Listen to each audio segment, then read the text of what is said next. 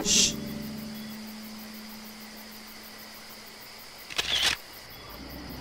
significa arte para usted? Arte, saber hacer algo. Mi cuerpo, que sepa hacer algo. Un beneficio para mí y para la comunidad.